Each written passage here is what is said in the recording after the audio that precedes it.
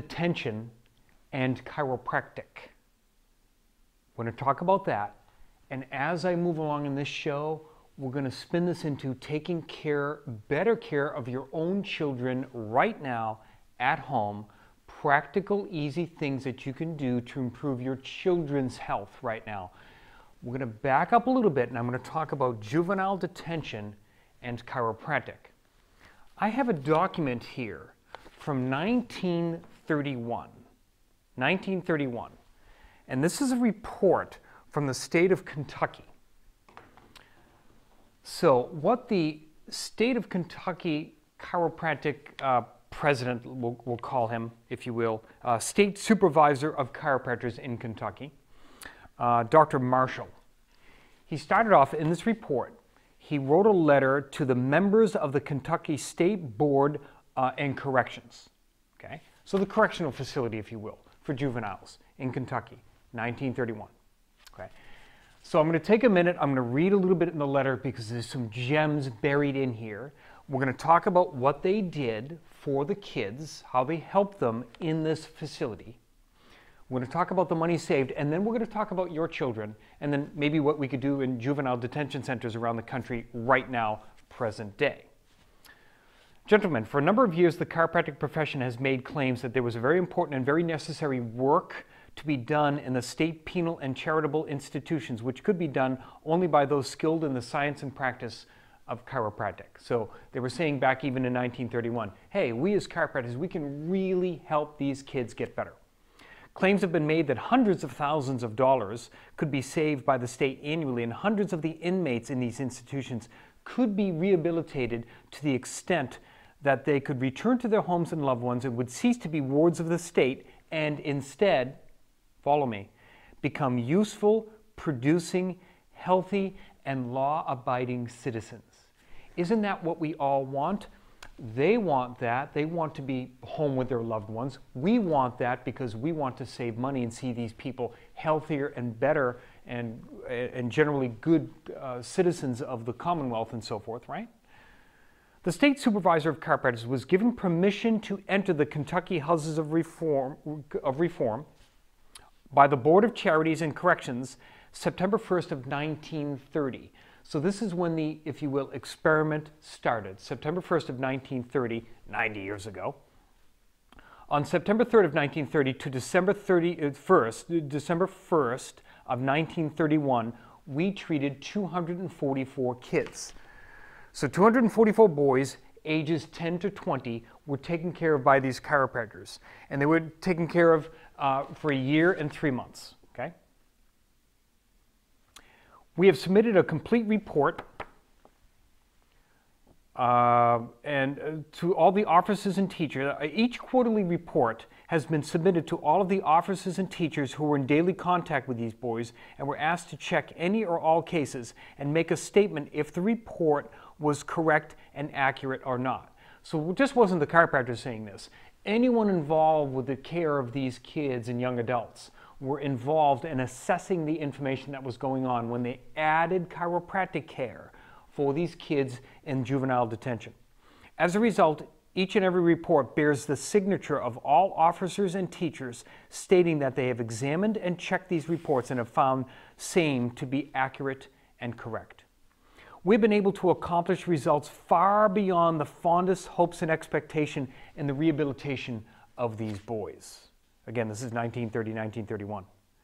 The teachers have voluntarily and without solicitation signed a petition asking for an all-time or full-time chiropractor in that institution. Now keep in mind this was only one institution, one building in the state of Kentucky, in one state, in one small period of time. As to the results uh, obtained, I submit a detailed report of each of these cases which speaks for itself. I'm going to give you some cases in a moment.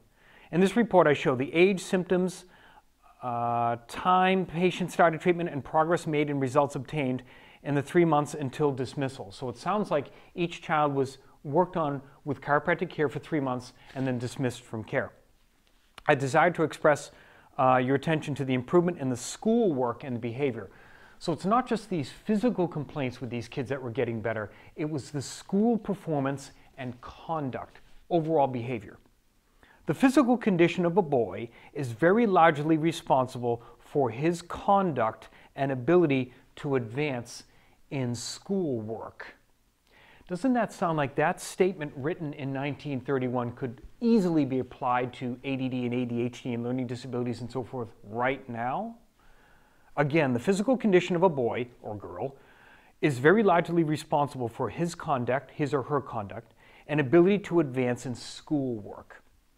You will notice that 54 of our patients have been promoted in grades and almost, follow this now, of the 244 kids treated, and almost 100% have shown improvements in conduct or behavior, if you will. Okay? We're almost done with the letter and then I'll move on. Paroles of these kids are based largely upon conduct, and you notice 144 of the 244 kids have been paroled since we have been giving them chiropractic treatment. Okay? It costs the state about $25 per month, probably a little bit more than that now, to keep a boy in the Kentucky Houses of Reform. And at that rate, 144 boys would cost the state $43,000 annually. This savings could be increased very materially, or I might say by several times the above amount at some of our larger institutions, keeping in mind this was only one place in one state. As shown by this report, this institution is only one in the state and shows a decrease in the number of inmates during the past year. And it's the only state penal institution in the country, so far as I can ascertain, that shows a decrease over any period in the last 10 years. They were the only one that showed that Kids were actually being paroled and let go, and they, and they weren't coming back. The numbers actually got better. And listen to this statement. This actually is in bold in this print here.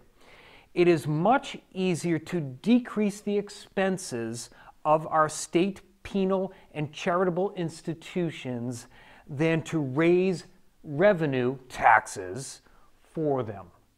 It's much easier to decrease the expenses than to raise taxes. That's a pretty awesome statement in 1931. So the problems stay about the same, don't they? 54% of the kids of the 244 improved their grade. They went up in grade. 100% of them improved their conduct with chiropractic care.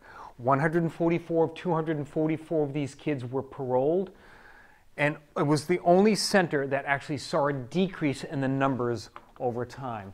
The rest of this report goes into all of the cases. So I can flip over any page in here and I can rate uh, case number 70, an 18 year old, had frequent frontal headaches, soreness in neck, neuritis in arms and wrists, conduct was fair.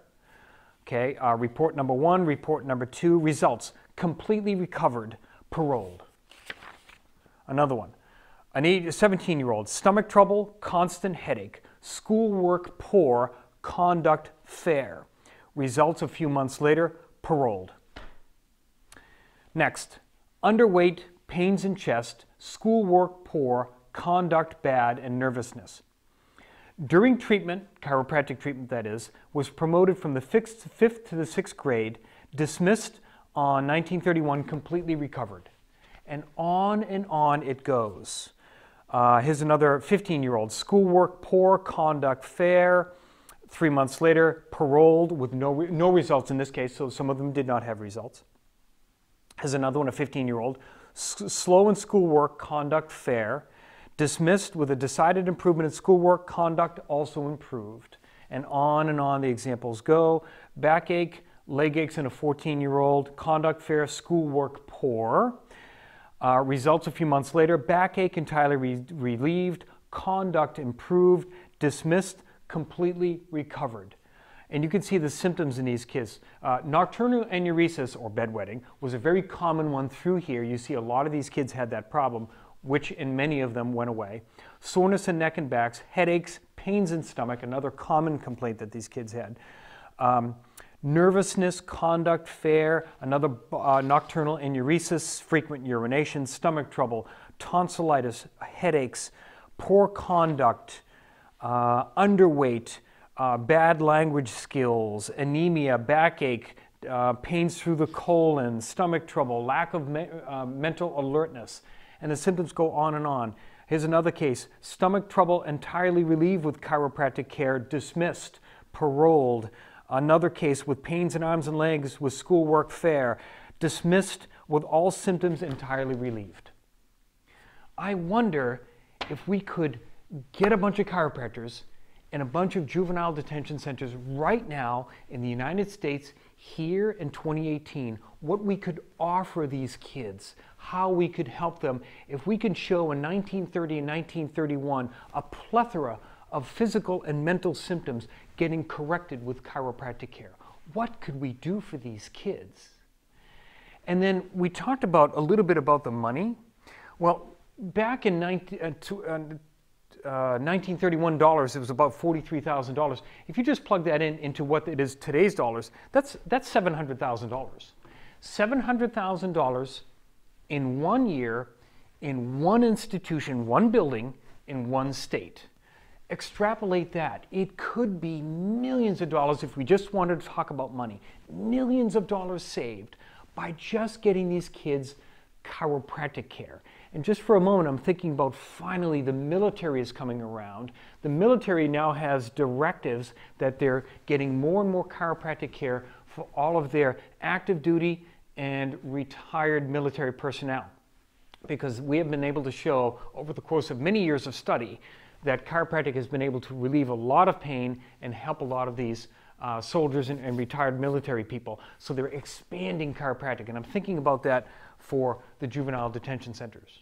Well, what can you do for your child or your children right now? So let's expand that into what you can do for all kids. Think about uh, the report I just said in 1930 and 1931. The only thing that they administered was chiropractic care. Well, imagine with all of the, the, information and science that we know now, we know how the human brain works, we know what it needs, right? It needs electrical stimulation from the special nerve endings in the spine. That's how chiropractic works. Chiropractic is stimulating those very powerful mechanoreceptors, which I've talked about many, many times. Those beds of nerve endings are firing into the nervous system and brain, allowing those brain circuits to grow. Great. That's the chiropractic end of things. So we can add that, but what if we cleaned up their, these kids' diets? Got them away from processed foods and into real foods, really clean diets with organic vegetables and so forth. Imagine what that can do we've already determined that clean diets or the Mediterranean diet is better than psychotropic medications for depression and anxiety and so forth. So then we clean up the diet along with chiropractic care, and now we know that there are brain based supplements that work really well. How about omega 3 fish oil? How about some antioxidants? Maybe some probiotics for the gut where the immune system mostly lives, and we improve that. Maybe we get some vitamin D in them. Maybe we get some magnesium. Maybe we add some supplements along with the chiropractic care. And then we get kids off of all of those drinks that are out there. All of the soda and the diet soda is gone, and we replace that and make sure that they're all fully hydrated. Do you think that that could help them and your children? So we add water and getting rid of the other garbage along with the chiropractic. Imagine if we get them exercising and moving their bodies. Well, we know that moving the bodies on a regular basis stimulates all the nerve endings in the joints and in the muscles and in the tendons firing that rich information to the brain, allowing those brain circuits to grow. Imagine if we do that in all schools for all kids and you replace some of the electronics with moving their bodies. Let's make sure that these kids are on a sleep schedule where they're going to bed early enough and they're getting enough rest in conjunction with the chiropractic care. And we have them thinking better. Maybe we invite in speakers and uh, educators that are going to come in and let them know that this is their universe. This is their supercomputer. They can get what they want out of life if they focus on it. And we have people coming in teaching these concepts to them on a regular basis. We do that for your kids. We do that in school systems. We do that in juvenile detention centers. Just imagine what we could do. The thing is, is these things don't cost very much. As a matter of fact, it could save millions of, multi-millions of dollars uh, from, from taxes if we do these for these kids. So that's what I'm suggesting to you. Not only adding this into juvenile detention centers, but doing this for your children as well. I'm Dr. Scott Fuller. Thanks for joining me.